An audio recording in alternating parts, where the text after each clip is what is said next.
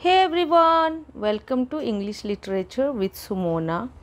So, children, today we are going to learn uh, NCRT CBSE board class fourth class fourth की ये chapter है और chapter five है और the little genius the chapter name is the little genius तो सबसे पहले हम लोग देख लेंगे कि चैप्टर में क्या क्या है बच्चों चैप्टर को बहुत अच्छे से रीड करो और समझो एक एक वर्ड का मीनिंग मैं बताऊँगी इसमें और समझो कि कि मैं क्या क्या बता रही हूँ इसमें। है ना? ठीक है? तो फिर स्टार्ट करते हैं।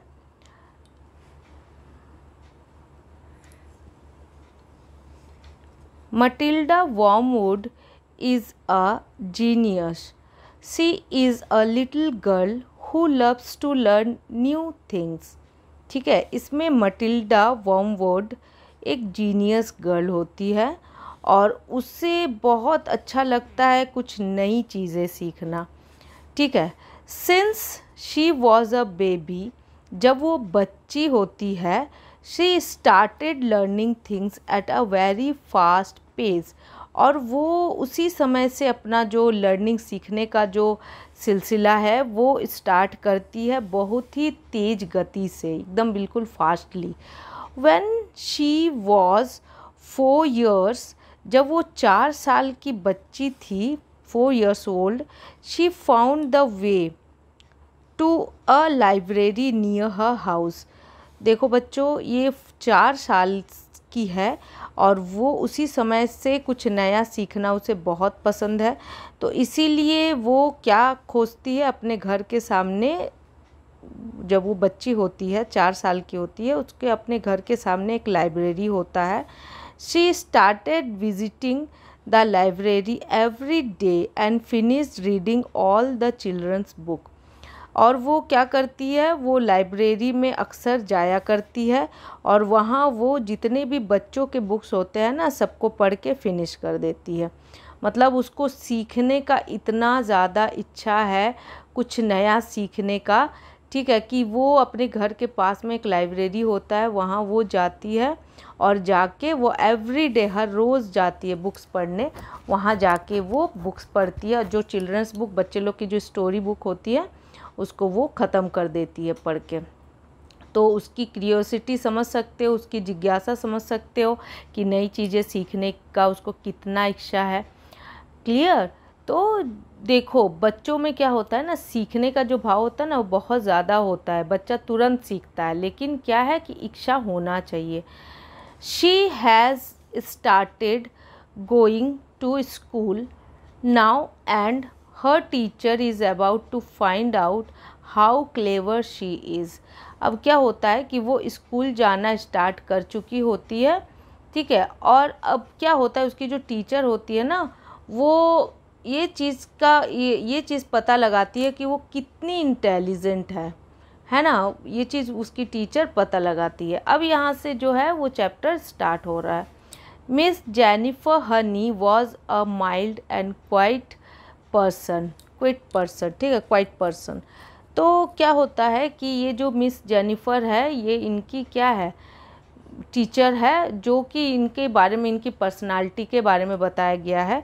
तो यहाँ पर हम लोग वर्ड मीनिंग में देख लेंगे क्या है. Mild and quite person some one who talks very little and in a low voice यानी कुछ ऐसा पर्सन जो कि बहुत कम बोलती है और बहुत ही धीमा बोलती है, ठीक है? तो ऐसे इंसान को क्या बोलते हैं? Mild and quite person. अब यहाँ पर देख लेंगे फिर से। तो ये किसका पर्सनालिटी बताया गया? टीचर का। टीचर का नाम क्या है? Miss Jennifer Honey. Clear? She never raised her voice and rarely smiled. वो कभी भी अपने वॉइस को बहुत तेज नहीं करती है। और बहुत मुश्किल से कभी कभी रियरली यानी कभी कभी बहुत मुश्किल से वो हंसती भी है तो कभी कभी हंसती है। क्लियर नेक्स्ट में क्या है? Today we will learn the two times table she said इनकी जो टीचर है, वो बोलती है कि आज हम लोग क्या पढ़ेंगे? टू टाइम्स टेबल पढ़ेंगे। नाउ देन तो फिर स्टार्ट करते हैं। Does anyone know the two times table already तो वो पूछती है, क्या किसी को क्लास में टू टाइम्स टेबल यानी टू का टेबल जो मैथ्स होता है तो क्या किसी को टू का टेबल आता है पहले से क्लास में? स्टार्ट करने से पहले, ऐसा उनकी टीचर पूछती हैं। ठीक है कि क्या किसी को आता है वो टेबल जो वो पूछ रही होती है। ये है क्लास का सिनेरियो देखो बच्चों, ये क्लास का सिनेरियो है, ठीक है? अब ये जो हाथ उठाई हुई है ना, ये कौन है? यही मटिल्डा है। अब देखते हैं क्या होता है आगे। तो उसकी टीचर अब पूछती है कि क्या किसी को पहले से आता है? Matilda put up her hand मैंने कहा ना कि ये जो है, ये जो उठा रही हाथ, यही मटिल्डा है। तो मटिल्डा अपने हैंड्स उठा लेती है। Miss Honey looked carefully at the teeny girl ठीक है टाइनी गर्ल तो मिस जो हनी होती है क्लास टीचर या उनकी जो भी सब्जेक्ट टीचर हैं तो वो देखती है उन्हें, बिल्कुल बहुत ध्यान से देखती है। She was only five and a half years old वो बिल्कुल पाँच साल या साढ़े पाँच साल की होगी, ठीक है। Many of the students in the class were older than her जितने भी और अदर स्टूडेंट्स थे ना क्लास में, ये सारे इससे क्या थे? बड़े थे। Wonderful she said please stand up and recite as much of it as you can और फिर उसकी टीचर बोलती है वंडरफुल बहुत अच्छे। ठीक है तो फिर तुम खड़ी हो जाओ और रिसाइट करो। जितना भी तुम्हें आता है वो तुम बताओ हमें, ठीक है? ये ऐसा उसकी टीचर जो है, उससे पूछती है कि हमें बताओ तुम्हें जितना भी आता है, जो भी आता है। Matilda stood up and began to say the two times table और जो मटिंडा है, वो खड़ी हो जाती है और वो टू टाइम्स टेबल को बोलना स्टार्ट करती है। She went right up to two times fourteen is twenty eight two times fifteen is thirty अब वो जैसे ही बोलना स्टार्ट करती है तो फिर वो इस तरीके से बोलती है कि वो बोलते चलती है। जैसे हम लोग को टेंथ तक आता है ना, किसी भी टेबल को हम लोग टेंथ तक बोल के इंड कर देते हैं, लेकिन मटिंडा टेन तक इंड नहीं करती है। वो फोर्टीन टाइम्स तक उसको बोलती है, फिर ट्वेंटी एट बोलती है, फिर two times fifteen is thirty फिर वो बिल्कुल फिफ्टीन थर्टीन तक वो पूरे टेबल को बोलती है ना? टाइम्स फोर्टीन इज़ ट्वेंटी है ना? Twenty eight two times fifteen is thirty तो वो बोलते रहती है, वो बिल्कुल एकदम फिफ्टीन तक टेबल को बोलते रहती है। तो फिर उसकी जो टीचर है, वो क्या बोलती है? स्टॉप मिस हनी सेड और उसकी जो टीचर वो बोलती है stop she asked how far can you go और फिर वो पूछती है, तुम कितने आगे तक बोल सकती हो टेबल को? वो क्योंकि इंडी नहीं करती है ना, वो बोलते रहती है। For quite a long way I think Matilda said फिर वो बोलती है कि मैं बहुत आगे तक बोल सकती हूँ, मुझे ऐसा लगता है। ऐसा मटिल्डा बोलती है, ठीक है? तो रिसाइट का मीनिंग भी देख लेंगे, क्या है यहाँ पर? रिसाइट मीन्स होता है to say aloud before an audience यानी ऑडियंस जो वहाँ पर श्रोता जो लोग उसको सुन रहे थे उसके सामने बिल्कुल कैसे बोलना लाउड ज़ोर से बोलना। ठीक है? अब नेक्स्ट देख लेंगे।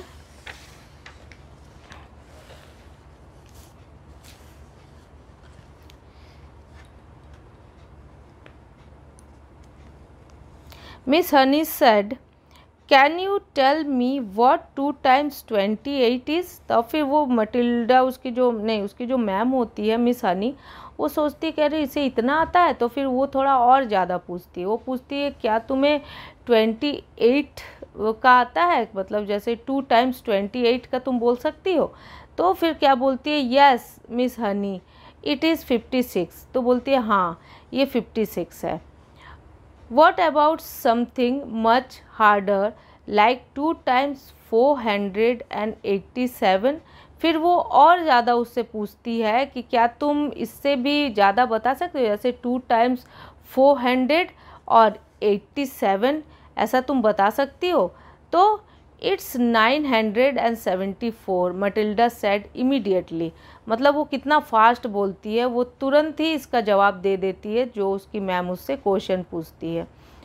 मिस हनी वो सॉक्ड तो मिस हनी बिल्कुल सॉक्ड हो जाती है, क्योंकि ऑब्वियसली बच्चों कोई अगर इतना ज़्यादा अपने उम्र के हिसाब से ज़्यादा बोल देता है तो कोई भी सॉक्ड हो सकता है, क्योंकि बड़े अगर बोलते हैं तो वो समझ में आता है। लेकिन एक छोटा बच्चा पाँच, साढ़े पाँच साल का वो इस तरह बोलता है तो ये बहुत ज़्यादा सॉक्ड होता है किसी भी टीचर के लिए या फिर किसी भी अदर पर्सन के लिए। What about the other multiplication tables do you know any of those do you know the three times table तो अब बोलती है, क्या तुम्हें कुछ अदर मल्टीप्लिकेशन टेबल्स भी आते हैं? तो क्या तुम्हें और भी दूसरे तरीके के टेबल्स आते हैं? जैसे दूसरे तरीके के और दूसरे जो होते हैं ना दूसरे नंबर्स के तो फिर वो पूछती है कि do you know the three times table फिर वो पूछती है, क्या तुम्हें थ्री टाइम्स टेबल आते हैं? तो अब देखते हैं वो क्या बोलती है। यस मिस हनी फिर वो बोलती है हाँ मुझे आते हैं। Do you know the twelve times table फिर वो बोलती है, क्या तुम्हें ट्वेल्व टाइम टेबल्स आते हैं? फिर वो बोलती है yes Miss Honey Miss Honey was very surprise अब ऐसा सुन के मिस हनी तो बिल्कुल हम, एकदम सरप्राइज़ हम अपने सरप्राइज़ हो जा रहे हैं। तुम लोग भी सरप्राइज़ हो गए होगे कि एक छोटा सा बच्चा पाँच साढ़े पाँच साल का इतना कुछ जानता है, ठीक है? तो फिर मिस हनी तो सरप्राइज़ हो नहीं था, वो सरप्राइज़ हो गई। She had never seen a five years old और even a ten years old who would multiply so easily उसने कभी भी नहीं देखा था, उसकी जो मिस थी ना, वो कभी भी नहीं देखा था कि कोई पाँच साल का और इवन कि कोई दस साल का भी इस तरीके से इतना ईजीली मल्टीप्लिकेशन कर सकता है। क्लियर तो अब देखते हैं ये क्या बोलती है।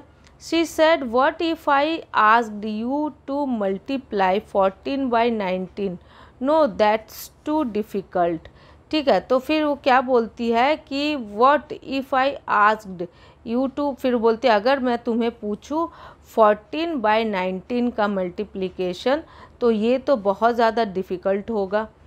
It's two hundred and sixty six Matilda said softly फिर वो जल्दी से, आराम से बोलती है कि नहीं, ये तो it's two hundred and sixty six होगा। उसका भी जवाब वो दे दे देती है, जो उसकी मिस पूछती है, कह रही है तो बहुत डिफ़िकल्ट होगा। लेकिन फिर भी मटिल्डा उसका जवाब, उसका आंसर दे देती है अपने मिस को। तो मिस हनी स्टैटेड एट ह तो मिस हनी क्या करती है? उसे बिल्कुल घूरने लगती है इस बार, क्योंकि ये बहुत ज़्यादा टफ सवाल का वो जवाब दे देती है। तो स्टेयर्ड एट हर तो उसको घूरने लगती है। नाउ टेल मी मटिल्डा फिर वो बोलती है अच्छा ठीक है, तुम मुझे बताओ। Miss Honey said Miss Honey बोल, बोलती है उससे how do you do the multiplication so quickly in your head फिर बोलती है कि, इतना जल्दी तुम मल्टीप्लिकेशन कैसे बोल सकते हो? इतना जल्दी तुम्हारे दिमाग में कैसे आता है? I have always said to myself मैं हमेशा अपने आप से बोलती हूँ that if a little pocket calculator can do it why shouldn't I मैं अपने आप से हमेशा ये बोलती हूँ कि जब एक छोटा सा कैलकुलेटर इतना बड़े बड़े जो होते हैं ना मल्टीप्ले सब कर सकते हैं कैलकुलेट कर सकते हैं तो फिर मैं क्यों नहीं कर सकती? ये चीज़ कौन बोलती है? मटिल्डा बोलती है कि ऐसा मैं अपने आप से पूछती हूँ कि जब एक छोटा पॉकेट कैलकुलेटर इतना बड़ा नंबर को कैलकुलेट कर सकता है तो मैं क्यों नहीं? Why not indeed Miss Honey said फिर बोलती है कि हाँ ये वास्तव में हो सकता है। क्यों नहीं हो सकता? ये मिस हनी बोलती है, ठीक है, कि वास्तव में ऐसा हो सकता है। The human brain is an amazing things जो ह्यूमन ब्रेन है ना, उसमें अमेजिंग थिंग एकदम बहुत आश्चर्यजनक चीज़ें हो सकती हैं।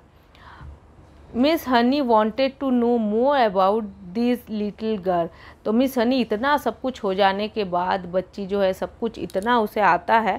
तब जो मिस हनी होती है ना, वो क्रियोसिटी एकदम क्रियोसिटी हो जाती है इस चीज़ को लेके कि वो और भी जानना चाहती है इस गर्ल के बारे में।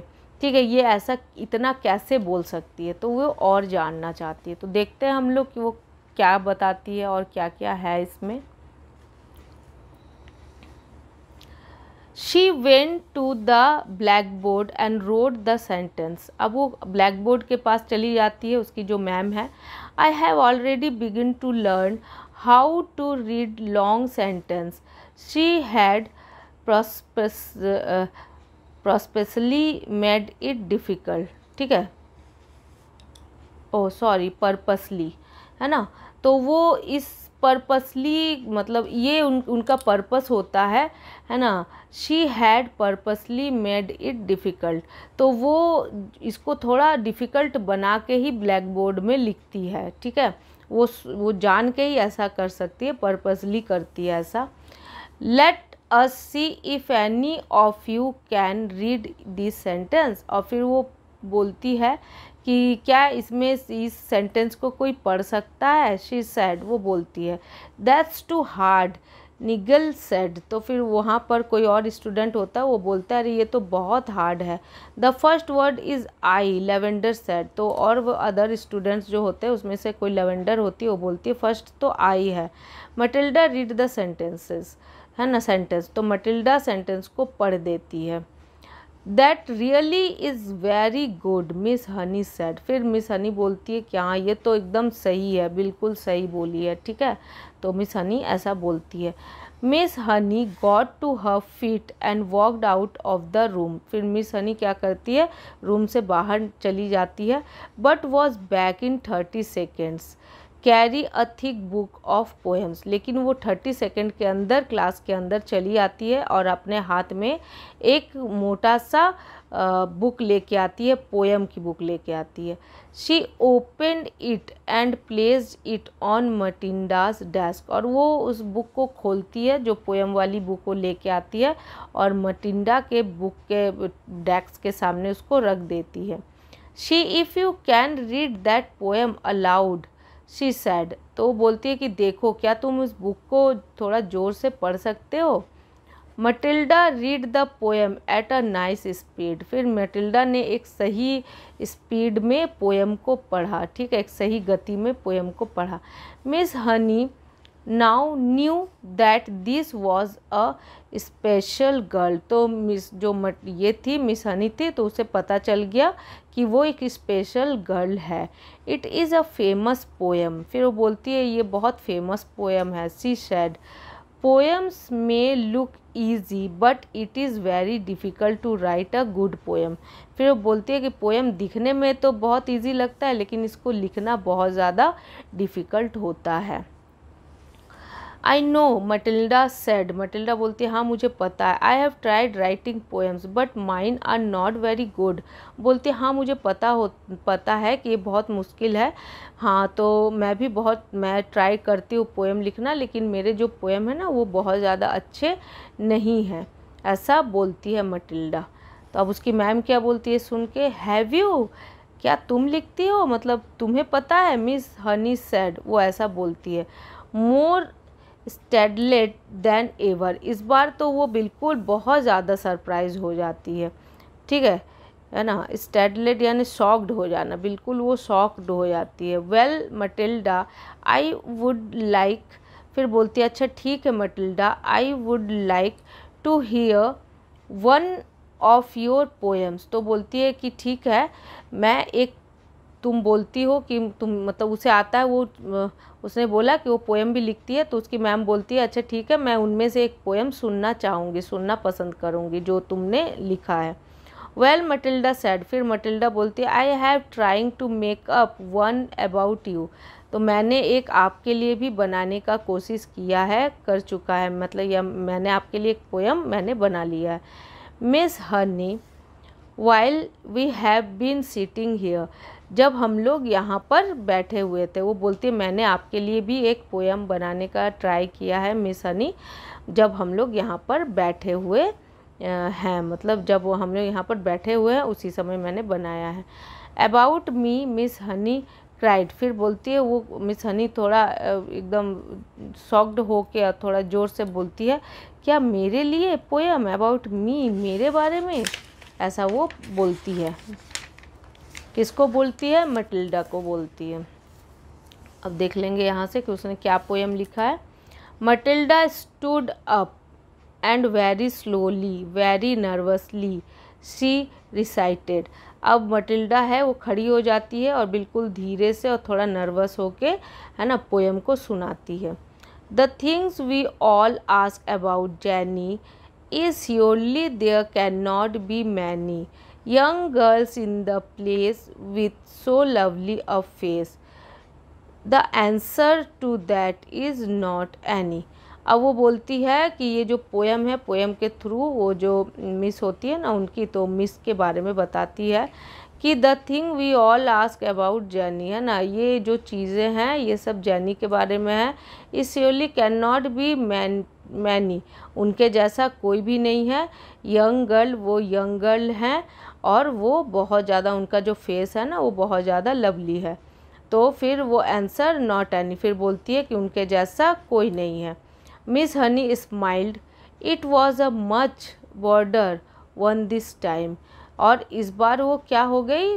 बहुत ज़्यादा ही बॉर्डर यानी वाइडर और लार्जर मतलब वो बहुत ज़्यादा खुश हो गई और उन्हें पता चल गया कि ये बहुत ज़्यादा हो रहा है। मतलब वो जो लड़की है मटिल्डा, वो समझ गई कि वो बहुत ज़्यादा क्या है? जीनियस है।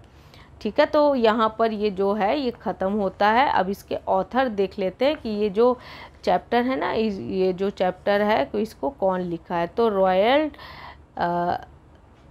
दही, है ना? रॉयल दही ने इसे लिखा है। तो अब देख लेंगे थोड़ा सा ऑथर का इंट्रोडक्शन क्या होता है थोड़ा सा पढ़ लेंगे बुक में दिया हुआ है तो। ठीक है तो रॉयल दही 1916 में इनका जन्म हुआ था और 1990 में इनकी डेथ हुई थी। वॉज़ अ ब्रिटिश नावलिस्ट ये ब्रिटिश नावलिस्ट से शॉर्ट स्टोरी राइटर ये छोटे छोटे स्टोरी लिखते हैं। पोएट थे, ठीक है, ये कवि थे, है ना स्क्रीन राइटर थे एंड फाइटर पायलट थे और ये पायलट भी थे। He wrote many books for children's बच्चों के लिए इन्होंने बहुत सारे बुक्स लिखे हैं।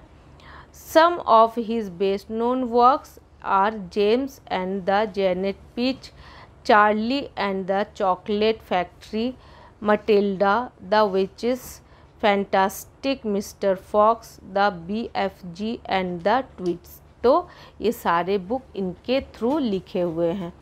तो आज यहीं पर इंड करते हैं। ये जो भी चैप्टर है तो if you like this chapter please hit the like button and do subscribe and comment my channel so thank you for watching bye